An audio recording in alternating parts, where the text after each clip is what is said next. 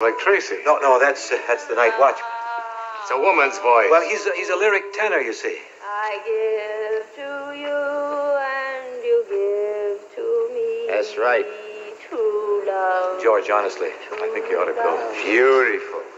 So on Okay, but and on. he's never gonna understand. It will always be That's nice. Love. That's nice. True love. Okay. I give to you and you give. You can to sing for me anytime, Tracy. You sing beautifully. Take me upstairs, Mike. Tracy. Oops. Oh, hello, Georgie Porgy. She uh, sprained her ankle, huh? Uh-uh.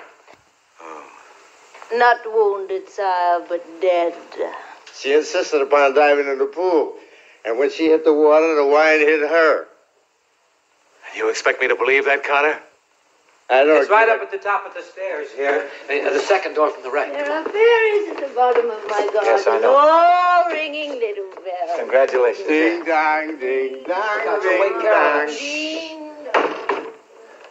Now, George, I wouldn't go jumping at conclusions if I were you. This isn't all that meets the eye here. Tracy. Of all people. Yes, Tracy, of all people. But you don't believe I'm. I mean, well, the implications, you know, they're not exactly what they seem.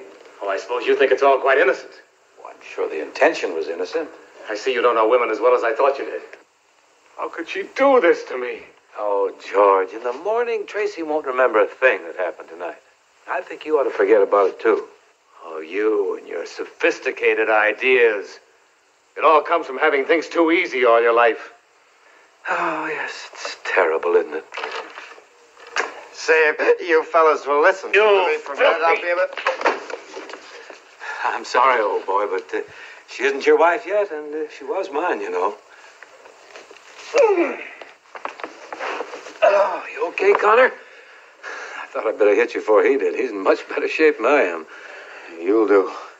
Say, uh, pal, just what did happen here tonight, huh? Well, see, I, uh,